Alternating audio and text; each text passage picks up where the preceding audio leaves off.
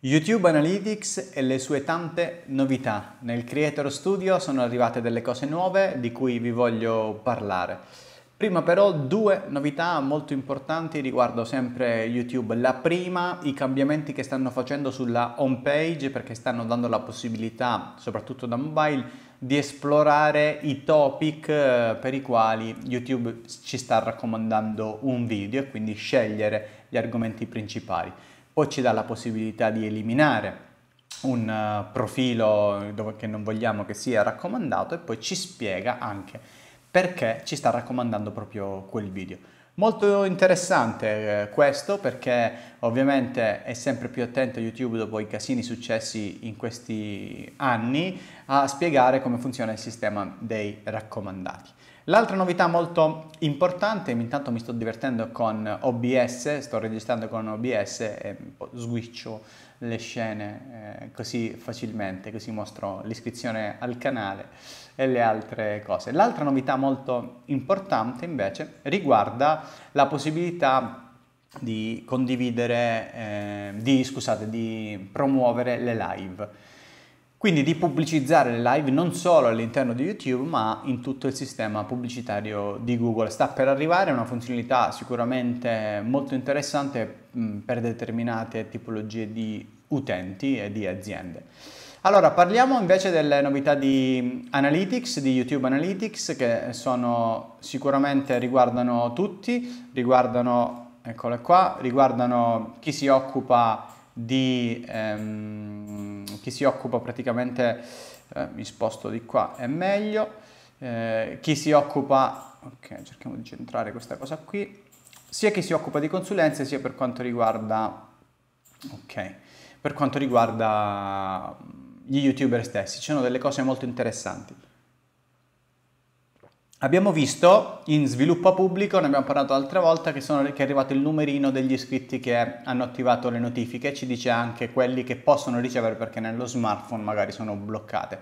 Questa è la prima cosa che eh, sicuramente dovete andare a guardare perché dà un indice molto importante della propria community ma l'abbiamo già trattata. Andiamo a vedere che cos'è che invece c'è di nuovo. Innanzitutto nella fidelizzazione del pubblico del singolo video, quindi quando entrate nel video dati e analisi, rifacciamo il passaggio, chiudiamo, va, eh l'ho aperto ma in realtà è meglio fare così. Quando siamo in dati e analisi del singolo video, in spettatori interessati, eccolo qua, abbiamo fidelizzazione del pubblico, fate mostra di più. E che cos'è che ci mostrava di solito? Solo la fidelizzazione fidelizzazione del pubblico normale. Oggi è arrivata finalmente quella che c'è nel vecchio, la fidelizzazione relativa, vedete sopra la media, sopra la media, eccetera, eccetera. Ecco, lo aspettavamo nel nuovo Creator Studio, bene, sappiate che è arrivato. Dopodiché nel singolo video è possibile passare facilmente, hanno messo finalmente questa cosa qui, agli altri video del canale, quindi se siete in un, facciamo l'esempio che siete in non so, clicchiamo qui, è tutto molto, è tutto molto rallentato, clicchiamo su stato dell'iscrizione per esempio, eccolo qua, se voglio passare da questo video ad un altro oggi è molto più facile tramite un semplice clic. Uno dei problemi del Creator Studio è appunto l'usabilità di queste cose che eh, insomma no, lo stanno migliorando.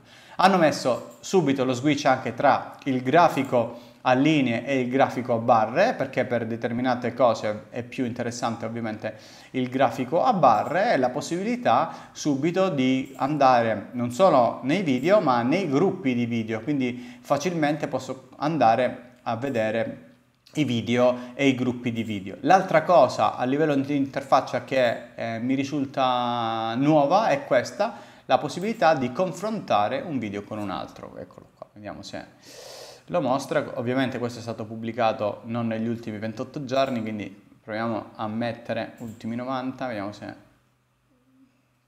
mi becco qualcosa, no dovrei andare ancora un po' più indietro, ma cambiamo video che è più facile, eccolo qua. Quindi vado a cambiare video e abbiamo il confronto tra i due video che... Eh, perché mi esce? Ah, perché addirittura... Eh, proviamo a fare questa cosa. Vabbè, non è un problema. Mi esce... Ah, giorno 1, ok, ok. Va bene, non è un problema. Quindi io posso andare a verificare video per video, periodo per periodo, tutti i vari confronti che posso fare dedicati alle varie sorgenti e alle varie cose. È molto interessante il confronto dei periodi, dei gruppi, eccetera, eccetera, perché ci consente di entrare nel dettaglio di quelle che sono le analisi. L'altro pannello che è migliorato molto è quello che vi mostra le informazioni in tempo reale le informazioni in tempo reale non solo delle ultime 48 ore ma anche degli ultimi 60 minuti e non hanno messo solo i 5 video più mh, popolari ma ne hanno aggiunti tantissimi. Per i canali grandi è una cosa molto molto importante. Questo l'abbiamo visto, queste sono tutte le possibilità, ok, ci siamo. Da dov'è che si arriva al, lo rifacciamo, invece al tempo reale ci si arriva andiamo su YouTube Studio. Ok, quando voi siete nella vostra home di YouTube Studio basta cliccare su dati e analisi. Su dati e analisi vi compaiono tutti i vari menu. Ora attendiamo un attimo perché si è rallentato un po' il sistema, forse è meglio se chiudo qualche tab. Ok, ne ho aperto un po' e che ho, ho altri Firefox sotto praticamente.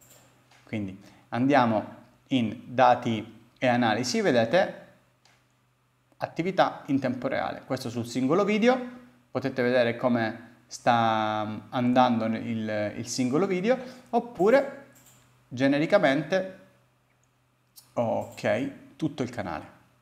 Vediamo se è diventato un po' più veloce rispetto a prima.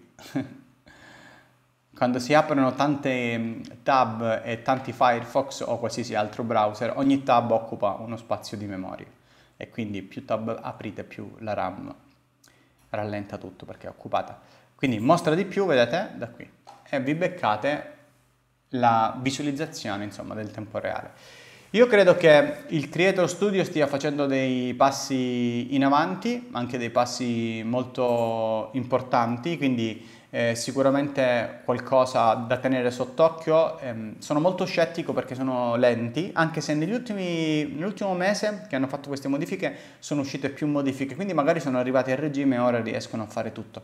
La cosa che in realtà mi preoccupava erano alcune funzionalità come la fidelizzazione relativa ho detto cavolo vuoi vedere che non la portano perché la usano in pochi? Invece eh, questa cosa non è così perché l'hanno portata.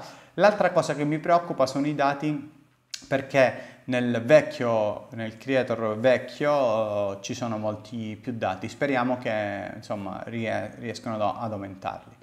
Insomma, questo è tutto, fatemi sapere se avete domande o volete approfondire qualcosa su YouTube Analytics eh, o sul Creator Studio che lo faccio volentieri. Volevo mostrarvi questa panoramica di cose perché secondo me è molto interessante da sapere. Domani parliamo invece del community management, del community manager. A domani.